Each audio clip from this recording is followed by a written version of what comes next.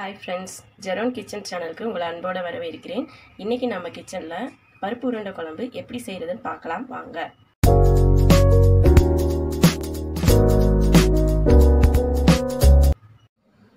செய்ய தேவையான பொருட்கள் என்னென்னு பார்த்தலாம் முதல் ஒரு டம்ளரில் அரை டம்ளர் கடலைப்பருப்பு கால் டம்ளர் பாசிப்பருப்பு எடுத்து ஒரு நல்லா கழுவிட்டு ஒரு மணி நேரம் ஊற வச்சு தண்ணி வடித்து வச்சுருக்கிறேன். அப்புறம் அதோடு சேர்த்து கலந்துக்கிறதுக்காக ஒரு கைப்பிடி சின்ன வெங்காயம் கட் பண்ணி வச்சுருக்கேன்.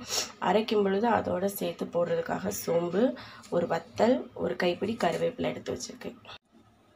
குழம்புக்கு தேவையான பொருட்கள்னு பார்த்தோம்னா மசாலா ஐட்டம் வந்து ஒரு ஸ்பூன் மல்லித்தூள் ஒரு ஸ்பூன் மிளகாய்த்தூள் கால் ஸ்பூன் பெருங்காயத்தூள் சீரகம் ஒரு தக்காளி பழம் ஒரு பத்து சின்ன வெங்காயம் கட் பண்ணி வச்சுருக்கிறேன். சின்ன தேங்காய்ச்சல் நாலு பல்லு பூண்டு கொஞ்சோண்டு கருவேப்பிலை.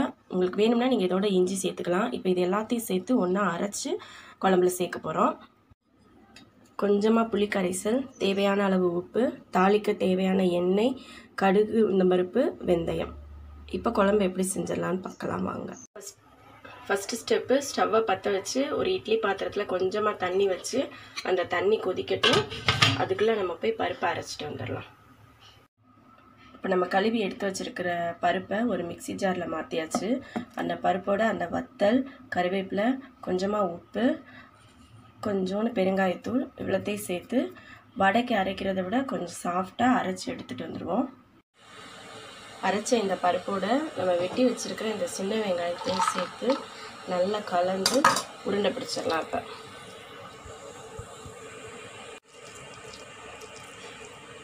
அரைச்ச பருப்பை சின்ன சின்ன உருண்டைகளாக பிடிச்சி இட்லியை வைக்கிற தட்டில் வச்சாச்சு. இப்போ இதை நம்ம வந்து இட்லி பாத்திரத்தில் வச்சு ஒரு அஞ்சு நிமிஷத்துக்குள்ளே வச்சோன்னா நல்லா வெந்து வந்துடும் உங்களுக்கு வேணும்னா இதை அவிக்காமல் அப்படியே கூட குழம்புல சேர்க்கலாம்.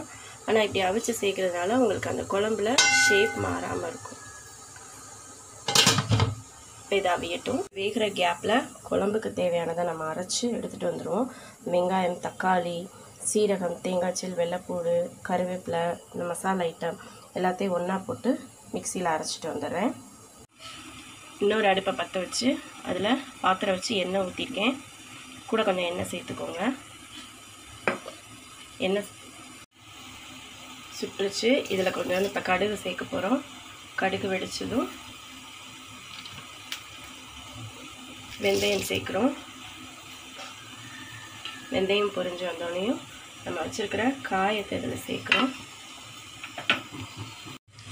நம்ம அரைச்சி வச்சுருக்கிற மசால் கலவையை இதில் சேர்த்துருக்கேன் இந்த மிக்சி ஜார்லேயும் கொஞ்சம் தண்ணி ஊற்றி அந்த அடுப்பு அதுக்கு கலவையோடு சேர்த்துக்கலாம்.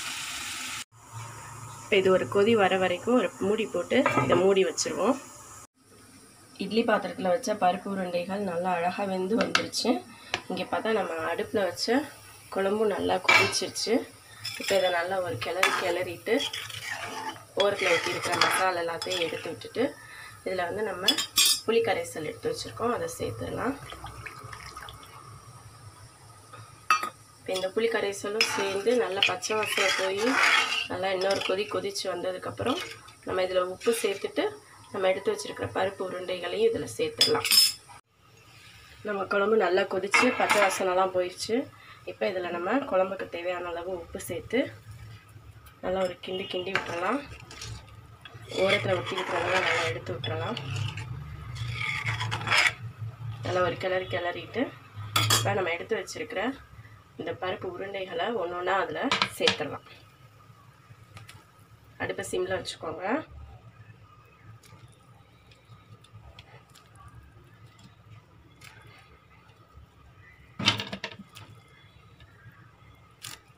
எல்லா உருண்டைகளையும் சேர்த்தாச்சு. இதுக்கப்புறம் நம்ம ரொம்ப கிளறக்கூடாது. ஒரு கொதி வந்தோடனையும் அடுப்பை அமர்த்திடலாம். நம்மளோட பருப்பு ரெண்டு குழம்பு ரெடி ஆயிடும் இப்போ நம்மளோட பருப்பு ரெண்டு குழம்பு ரெடி ஆயிடுச்சு. நல்லா பக்குவமாக வந்துருக்கு ஓரத்தில் பார்த்தோம்னா நம்ம ஊற்றின எண்ணெயெல்லாம் நல்லா அழகாக பிரிஞ்சு வந்துருச்சு. இப்போ இதை நம்ம ஒரு சர்விங் பவுலில் மாற்றிக்கலாம் அடுப்பை ஆஃப் பண்ணிடுவோம்.